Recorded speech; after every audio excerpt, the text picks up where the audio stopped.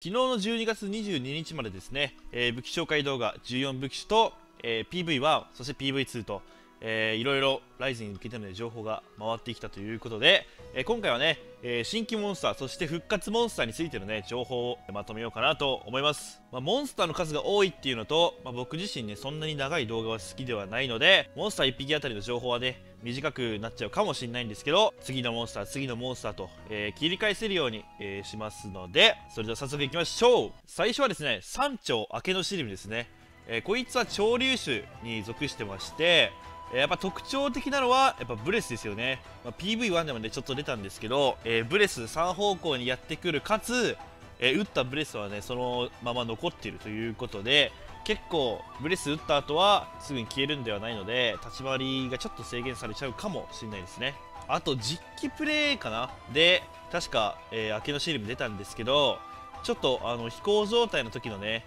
えー、なんていうんだろうね攻撃パターンというかそれが意外と変わっていたりもしたんでまあワールドのクシャやレースみたいにね、まあ、潮流したから外役になることはないと思うんだけど、まあ、そこら辺も注目ですね。で次はカッパガエル四つ見和道ですね。こいつは両生種というね分類に属していまして、まあ、両生種っていうのは今のところテスカブラとザボワザギルしかいないんですけどまあ3匹目かな？ということで結構珍しい、えー、分類に入るんですけど同じ分類に属しているザボワザギルと、まあ、同じような特徴を持ってますよね。なんか体格を大きくしてそれで攻撃範囲と、まあ、素早さはちょっと落ちるんですけど、えー、攻撃の威力が上がるという感じですかね。でのしかかりというか大きな巨体を生かして1回飛んでからハンターめがけて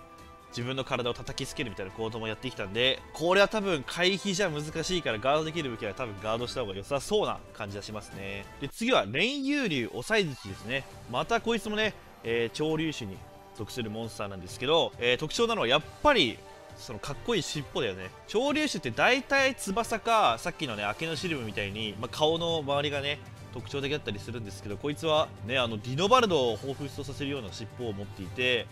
まあ、それを叩きつけたり、えー、回転させたりねしていましたね。でこいつは序盤に出てくる潮流種かもしれないんですけど周りにねイズチという、えー、小型モンスターをね引き連れて、まあ、多分2匹かな PV 見た感じだと。2匹連れ歩いて一緒にねなんかなんて言ったら三位一体の攻撃をしてくる感じが見受けられましたね。で次は人魚竜磯根三国というモンスターですね。こいつだけちょっと分類がね分かんなくて海竜種かなっていう名前的にね思ったんですけどこいつやっぱり眠り粉をまき散らすということが特徴に挙げられますよね。序盤のモンスターで結構睡眠を扱ってくるってそもそも少なくてパオルムアシとかまあ後々言うんですけどドスバギーとかその辺しかいないんでそもそも睡眠属性を扱うモンスターって少ないんで結構貴重かもしれないですね。まあ、あとは普通に他のモンスターと変わんないかなっていうジャンプ攻撃したり這いずりしたりって感じかな。でもなんか最後の何ていう技の名前か分かんないんだけど、ね、よくこれ言われてるんだけど回復してるんじゃないかとか自分のことをね回復したり強化してるんじゃないかみたいなことはね言われてますね。で次は天狗獣ビシュ天狗というモンスターですね。こいつはちょっと分類もこいつもかこいつも分類わかんないんですけど、まあ、名前の通り天狗をモチーフにしたねモンスターなのかなと。あれだねちょっとダブルクロスとかクロスに出てきたドスマッカオみたいな感じで尻尾で直立するモンスターですよねこいつは。であとは、えー、牡蠣を投げてくるということですね。この牡蠣にもなんかいろんな牡蠣があって多分毒にしてきたりなんか他の状態以上にしてきたりとかそういうのもありそうだよね。牡蠣をね尻尾で持って先行攻撃やってきたりとか尻尾攻撃をしたりとか。こいつは結構面白そうかなと思いますね。次はライズのメインモンスターオンコリュウマガイマガドですね。まあ、我流種ということで何年ぶりか分かんないけど陣容が以来ぶりかな。我流種がメインモンスターになる作品になりますねライズが。我流種は、えー、長らくね陣容ガとその足しかいなかったんですけどワールドで、まあ、飛びかがしとかオドガロンとかドドガマル、まあ、その辺ですね。が一気に追加されて今回、えー、我流種がまたメインモンスターに復活するということでこいつもなんか尻尾すごいことになってるんだよね。本当に。さっきの押さえ槌じゃないけどそれ以上に尻尾は特徴的で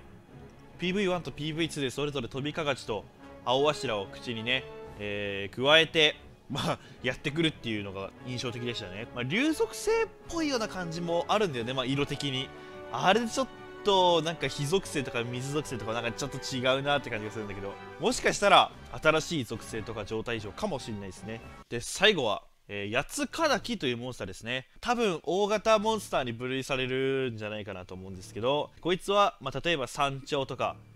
カッパガエルとかそういうなんか2つなみたいなものはまだ出てなくて強角種なんじゃないかなって言われてますね。強角種っていうのは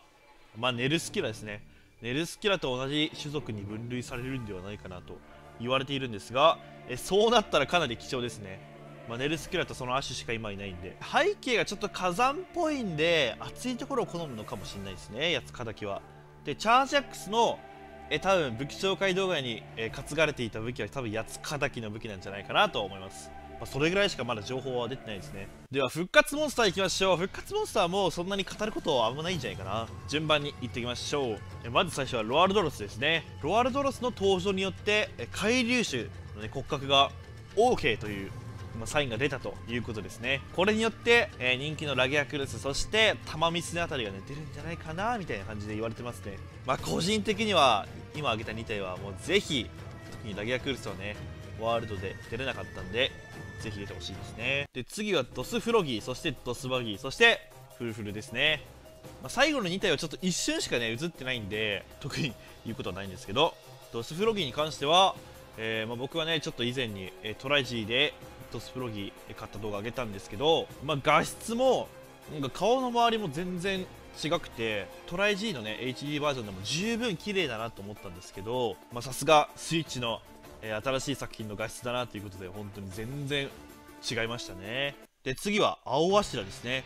多分復活モンスターの中でも一番早くに、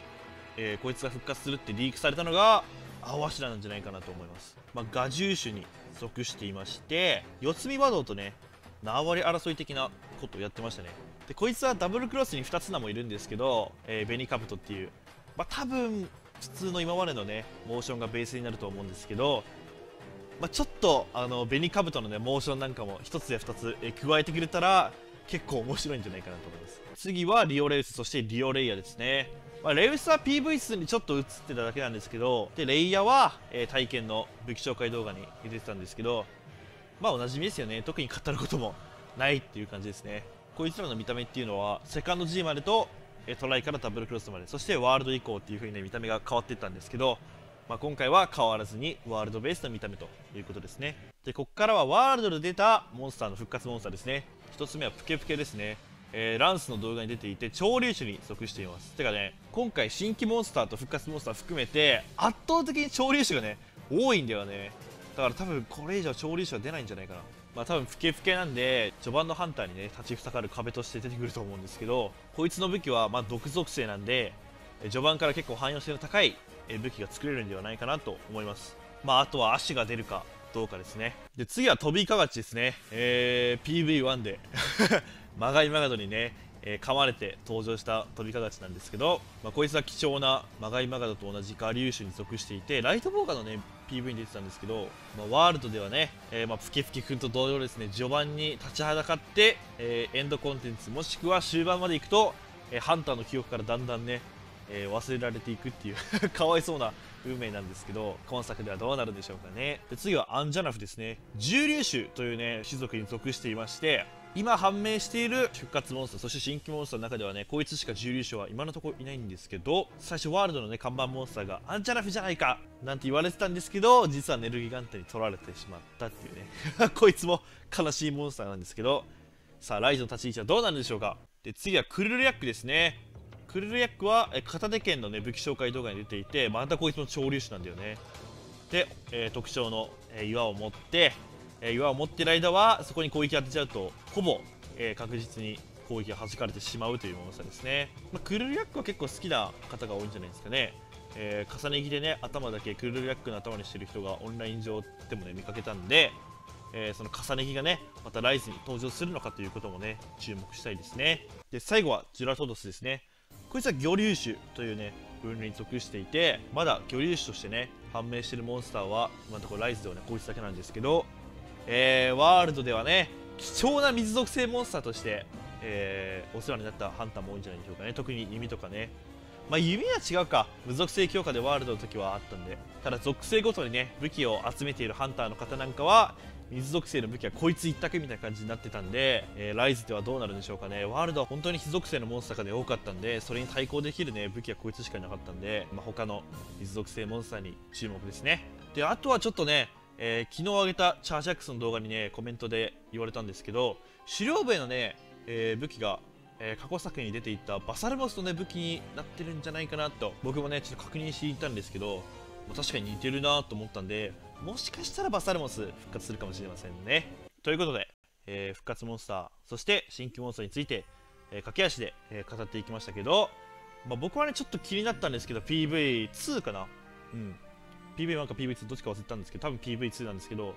えー、砦に向かわなきゃいけないみたいなね。百竜夜夜行だっけ？ちょっと忘れたんだけど。で砦っていうとやっぱり僕の中ではシェンとかラオみたいな超大型モンスターをイメージするんだけど、まあ、あの PV ではね、えー、いろんな大型モンスターがうわーってやってくるみたいな感じだったんだけどもしかしたらゾラマグダラス以来の超大型モンスターのねなんか砦みたいな感じの大きいフィールドに出てくるんではないかなっていうちょっと予想もありますね。超型モンスターだと